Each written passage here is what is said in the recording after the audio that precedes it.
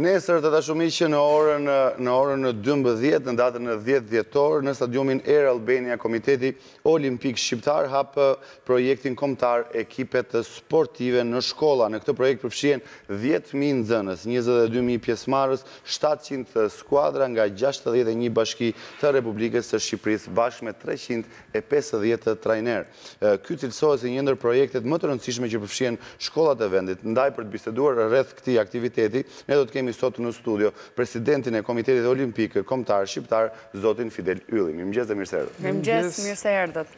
Zoti Ylli, gjithmonë në Shqipëri është investuar për ekipet e futbollit dhe ky projekt në fakt është i pari i cili përfshin nxënësit. Si është ecuria e zbatimit të tij?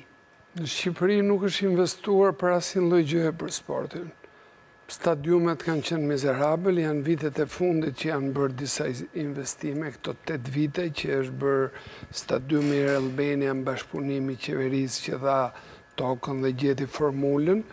me FIFA-n, me UEFA-n, me Federatën e Futbollit, stadiumi i Elbasanit, stadiumi i Kukësit, Qendra Olimpike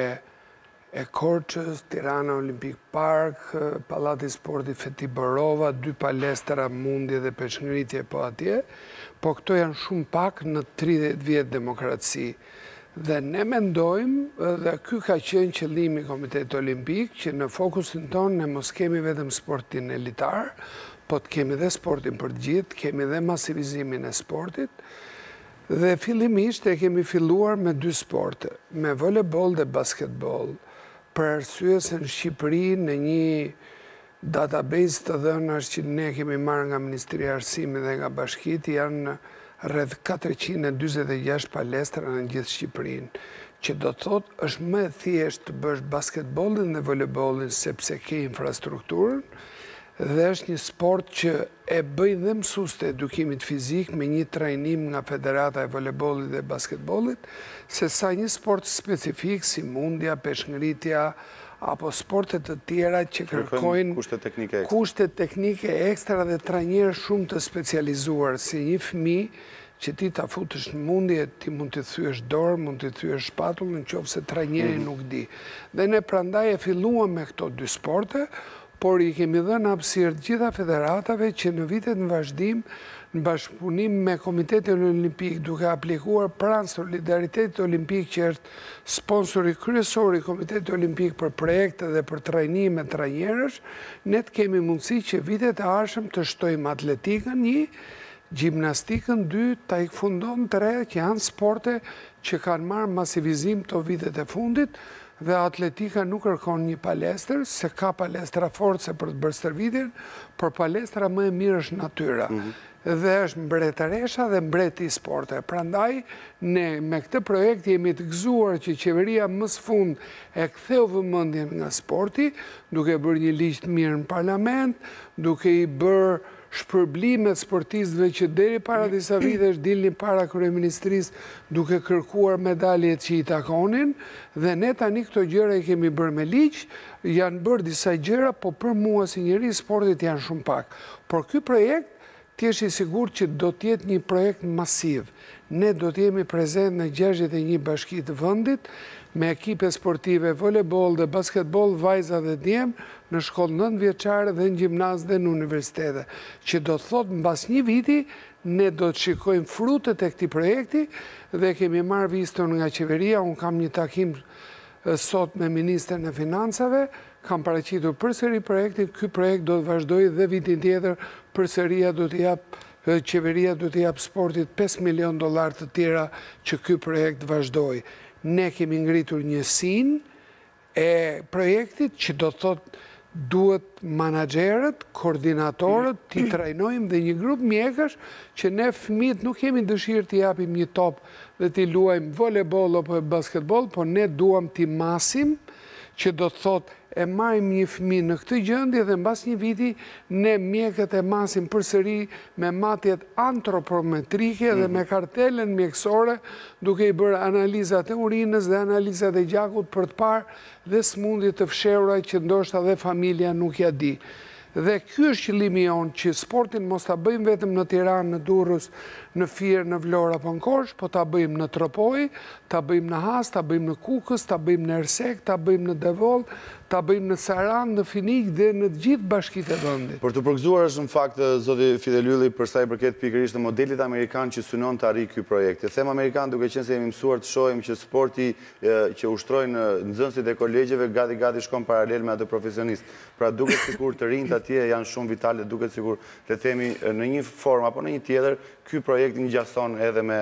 me një model që ne jemi mësuar të shohim në botë. Por frytet që do të arrijmë, përveç se t'i mbajmë të rinjtë pikërisht të angazhuar nëpërmjet sportit, a synojmë që të zbulojmë qoftë edhe talente të rinj? Sigurisht, ne përveç bashkëpunimit që kemi me Federatën e Volejbollit dhe me Federatën e Basketbollit, se në fund të fundit Komiteti Olimpik nuk bën sport.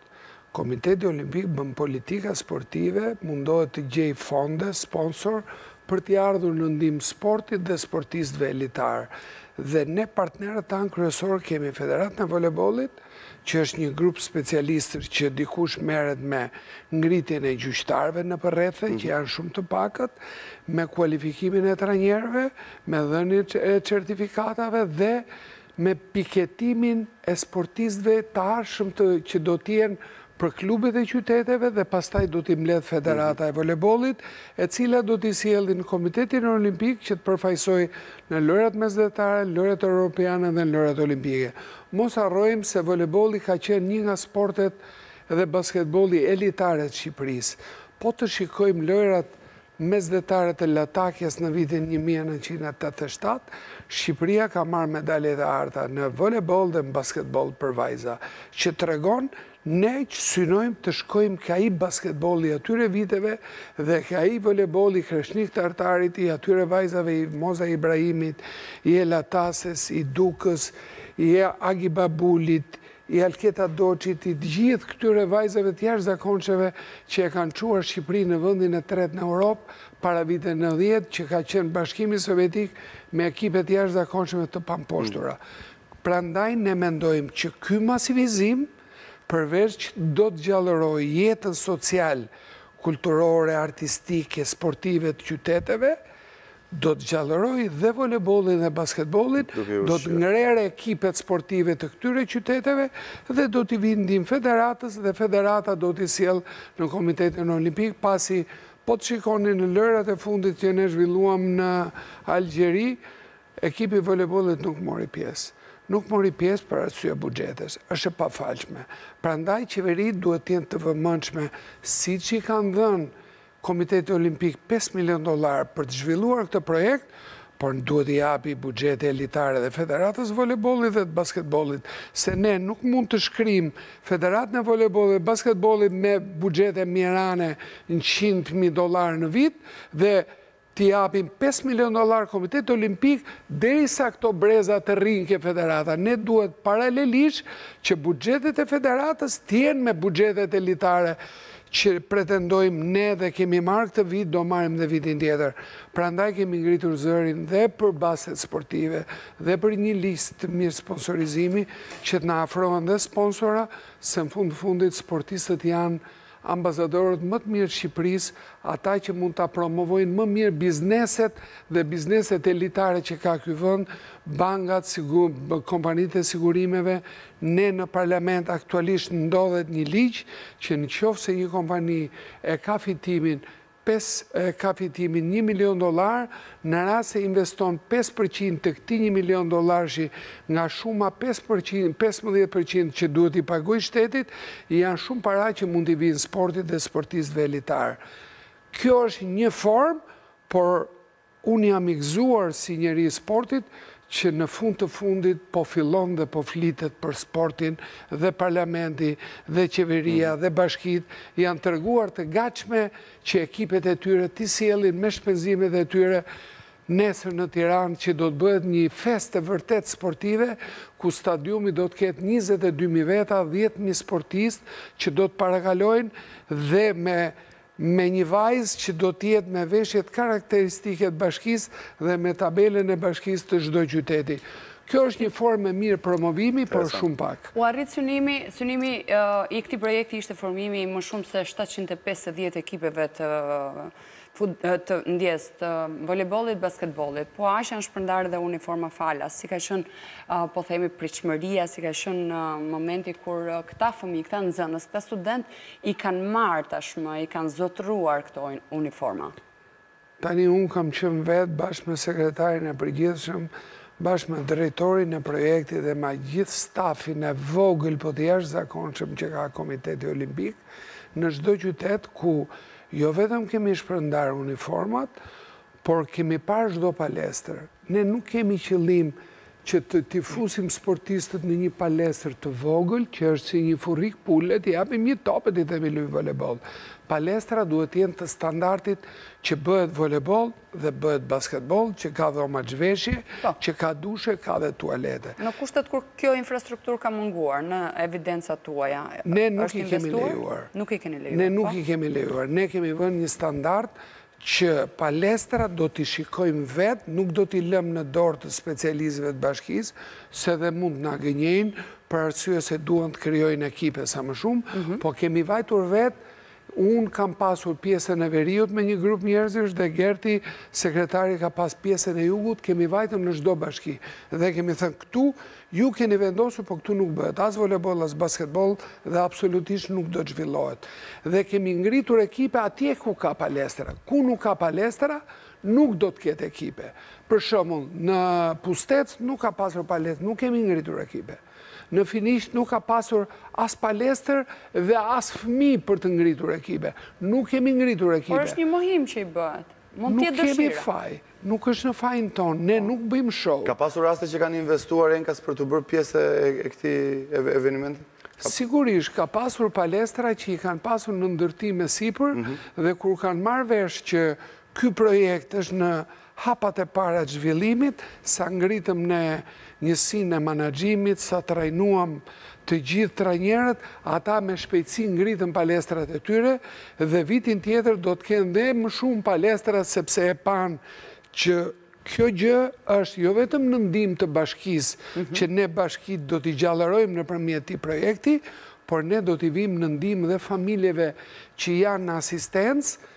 por nuk kanë mundësi që fëmijën e tyre që është i gjatë për të bërë volejboll dhe basketboll ta çojnë në një shoqatë për të paguar tridhjetë, dyzet apo pesëdhjetë mijë lekë, t'i paguajnë atletet, t'i paguajnë tutat. Pra ky projekt i vjen në ndihmë katërqind koordinatorëve dhe trajnerëve që përveç që janë mësues të edukimit fizik dhe marrin atë pagën, marrin dhe treqind dhe pesëqind dhe gjashtëqind mijë lekë nga Komiteti Olimpik për të qenë koordinator të qarqeve që për të na dhënë ne informacione në kohë reale dhe ne kemi bërë një gjë të mirë me partnerët tanë Tibo që ne në çdo palestër kemi krijuar një Sportalbin tonë. Sportalbi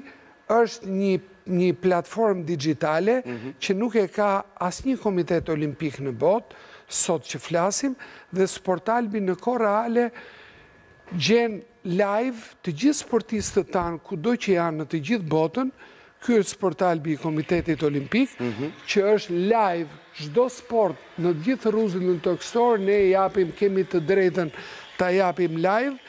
por në të njëjtën kohë ne japim live dhe të gjitha ekipet sportive, të gjitha ekipet sportive ku të gjitha ekipet në të gjithë rrethet ku ne ndajmë uniformat Janë të gjithë sportistët, trajnerët, kryetarët e bashkive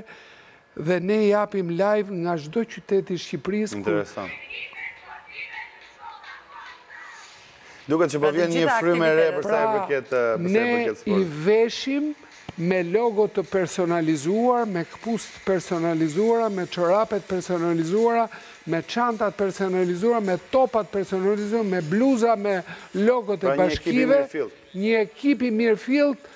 që janë ngjyra që ju do t'i shikoni nesër jeni të ftuar të vini në Air Albania dhe të shikoni Komitetin Olimpik se çfarë projektesh bën që Komiteti Olimpik Botëror kur erdhi kur erdhi Thomas Bach president i Komitetit Olimpik Botëror të lutem më tha mua na e përkthe t'ua japim këtë model të gjithë Komiteteve Olimpike Botërore të marrin shembull nga Shqipëria që me dhjetë veta Në një komitet olimpik modest bëjnë projekte kaq të mëdha dhe bëjnë platforma dixhitale që s'i kanë bërë komitete olimpike që i kanë buxhetet mbi qindra dhe miliona dollarë. Por e mira është të dish sesa të kesh. Ne dimë, njerëzit që punojnë në Komitetin Olimpik janë njerëz me vizion, janë njerëz që punojnë projekte, thithin projekte të ndryshme dhe unë jam i kënaqur që drejtoj një staf elitar Me kaq profesionalizëm që nuk shikojnë orar po vijnë në tetë mëngjesi dhe e mbyllin në nëntë darkës. Dhe në qoftë se ne do arrijmë t'i japim shëmbullin tonë dhe federatat sportive të punojnë nën shëmbullin e Komitetit Olimpik besoj se sporti shqiptar do të futet në rrugën e drejtë se se qeveria e ka marrë mesazhin që tashmë ka një ombrellë sporti ka disa federata olimpike që kanë sportista elitarë si presidenti i Federatës Mundjes, ai i atletikës, i taekuondos, i gjimnastikës, që kanë sportista, i boksit, kanë sportista elitarë dhe kampiona bote që ne duhet t'i mbajmë si ujët e pakët. Kemi bërë një ligj të mirë në parlament, që sportistët tashmë nuk dalin para kryeminist duke kërkuar lëmoshë, por ata e dinë që kanë shkollën, E kanë pa konkurs Universitetin e Sporteve dhe Shkollën e Policisë, kanë paratë të sigurta, kanë punën të sigurtë, kanë siguracionin të sigurtë dhe nuk marrin më rrugë të emigrimit për të shkuar për të bërë për flamurë të tjerë, por po na vijnë sportistë, jo vetëm rusë, po na vijnë dhe italianë për të garuar për Shqipërinë. Zoti Ylli, e fundit, po jo më pak e rëndësishme nga ato të cilat ju renditët më sipër, Shqipëria zyrtarisht për vitin dy mijë e njëzet e tre është shpallur Tirana, kryeqyteti europian i sportit. Janë pikërisht edhe këto iniciativa tuaja si presidenti i KOKSH-it, por ndoshta edhe iniciative tashmë e bashkëpunimit edhe qeverisë mes institucioneve për të lartësuar dhe për t'i dhënë dinjitetin sportit. Nga ana tjetër, për çfarë do të shërbejë më së shumti Tirana, kryeqyteti europian i sportit. Do të eci paralelisht me zhvillimet dhe dëshirat tuaja për ta parë sportin sa më të lartësuar? Sporti në vizionin tonë nuk është thjesht një garë, një kompeticion, kush del i pari dhe merr një medalje. Sporti është diplomaci, sporti është cilësi jete, sporti është shëndet, po në fund të fundit sporti është dhe kulturë dhe sporti është Edhe ai që i bën sportistët tanë në të gjithë botën të ngrenë flamurin shqiptar dhe sporti në vitin dy mijë e njëzet e dy ku Tirana ishte kryeqyteti europian i rinisë, Tirana ka përfituar miliarda dollarë nga të gjithë ekipet që kanë ardhur, kanë performuar si Kampionati Europian i Peshëngritjes për të rritur, Kampionati Europian i Peshëngritjes për U njëzet e tre, Katër kampionate ka bërë Federata e Taekwondos nga Presidential Cup, kampionati europian i të rinjve, i të rriturve, është bërë rrethi çiklistik me njëzet e pesë shtete, janë bërë kampionate ballkanike, është bërë triatloni, është bërë maratona, janë bërë kampionate boksi, kampionati Muhamet Malo me njëzet shtete, të gjithë këto shtete që vijnë, vijnë me paratë e tyre, që do të thotë do hanë, Do të pinë, do të flenë në hotelet e Tiranës. Mos harroni Conference Liga që u bë Fejnordi me Romën, nuk kishte hotele Tirana, flinin në Durrës, në Lezhë, në Elbasan, në Fier, sepse nuk ka qyteti jonë kapacitete të bëjë organizime kaq madhore si Euroliga apo një kampionat botëror. Prandaj ne kërkojmë të bëhen sa më shumë hotele, që mos shkojmë direkt në Durrës dhe në qytetet tjera, dhe sporti është imazhi më i mirë për vendin. Ne kemi bërë një model në dy mijë e njëzet e dy-shin që është punë e jashtëzakonshme e Bashkisë Tiranës me Komitetin Olimpik dhe me federatat sportive dhe po këtë vit Bashkia e Tiranës me lobimin dhe të parlamentit shqiptar të kryetarit të grupit parlamentar dhe të qeverisë shqiptare sepse unë e pashë me sytë e mi që të gjithë eurodeputetët negocionin për vendet e tyre për të marrë qytetet apo regjionet e tyre atje dhe është dhe një punë e Taulant Ballës si kryetar i grupit parlamentar me të gjithë parlamentarët e tjerë por është dhe një punë e jashtëzakonshme e Erion Veliajt Po dhe komiteti olimpik se në fund të fundit bashkia nuk bën sport. Sportin e bëjnë federatat ku ombrella e sportit është komiteti olimpik dhe i organizon. Ne kemi për herë të parë të gjithë institucionet sportive duke filluar nga qeveria, nga kryeministri Rama, nga ministria e sportit, nga ministria e rinisë, nga bashkitë, jo vetëm me Tiranë, po të gjitha bashkitë, nga Komiteti Olimpik dhe nga të gjithë federatat dhe shoqatat sportive janë në një drejtim. Prandaj kemi një frymë, që këtë frymë duhet ta mbajmë, ta zhvillojmë se sporti bëhet në bashki, sporti bëhet në shkollë, sporti nuk bëhet në Komitet Olimpik. Prandaj ne kemi filluar me shkollat, Se aty dalin talentet, volejbollist nuk bëhesh në Komitet Olimpik, as në universitet. Volejbollist bëhesh dhjetë vjeç, ashtu siç je bërë dhe ti volejbolliste, ashtu siç jam bërë dhe unë mundës në moshën dhjetë vjeçare dhe pastaj vijnë rezultatet dhe vijnë medaljet. Ne kemi një brez të talentuarish, por kemi mangësi infrastrukture. Unë duhet t'i them qeverisë të vërë alarmin se jemi popullsia në të gjithë Europën që merret tre për qind me aktivitet fizik. Në një kohë që vendet e rajonit merren dyzet, pesëdhjetë për qind, vendet skandinave merren shtatëdhjetë dhe tetëdhjetë për qind. Kjo është ajo që ne themi, sporti është shëndet, Ne dy kampiona bote do t'i marrim edhe pa paratë e qeverisë se i kemi marrë edhe në kohën e komunizmit. Një Ymer Pampuri që ishte marangoz doli në shtatëdhjetë dyshin doli kampion olimpik në stilin e forcës, kemi pasur kampiona të tjerë në peshngritje, në mundje, në boks, në gjithë sportet e tjera, në atletikë, Pavlina Evro dhe shumë, Donika Hanxhara, Anila Mekshi dhe gjithë ata kampiona dhe gjimnastë familja Meta dhe të gjithë të tjerët, ne themi ta masivizojmë sportin, ta fusim atë në shkollë, të bëjmë atë që thotë gazetari sistemin amerikan, që ne këtë sistem e kemi jashtë kurrikulës sportive. E kemi që ti mbaron mësimin dhe pastaj në dy deri në tre gjysë janë vajzat e volejbollit, tre gjysë deri në pesë janë djem. Ne themi që ta fusim sportin me detyrim në shkollë, që një fëmijë të zgjedhi Një sport të detyruar në shkollë, dhe të themi, kjo shkollë ka pesë sporte, basketboll, atletikë, gjimnastikë, volejboll, një sport tjetër ka futbollin, një sport tjetër ka gjimnastikën, dhe në gjithë shkollat e Shqipërisë është e detyruar qeveria të bëjë infrastrukturë sportive, mos bëjë vetëm lulishte në bashkitë, po të bëjnë dhe fusha dhe terrene sportive në bashkëpunim dhe me Federatën e Futbollit Që dhe futbolli është një sport popullor, që ta fusim dhe futbollin në linjë, se ka talente pa fund Shqipëria. Për fat të keq, fëmijët tanë ende orën e fiskulturës e quajnë si një orë pushimi sot e kësaj dite, kështu që do t'ishte e mirë që të marri vlerë pikërisht edhe për t'u formësuar dhe për zgjedhur një nga sportet që mund të luajnë nesër pas nesër. Falemderit shumë që që në. Falemderit shumë dhe suksese edhe nesër e në vazhdim. Faleminderit. Dalemi tani në një tjetër uh, moment të rëndësishëm në Mitrovicë është mbajtur konferenca shkencore ndërkombëtare mbingarkesa kurrikulare, ndikimi në arritshmërinë dhe mirëqenien e nxënësve dhe mësimdhënësve. Por çfarë është diskutuar në konferencë, ne do të ndjekim materialin.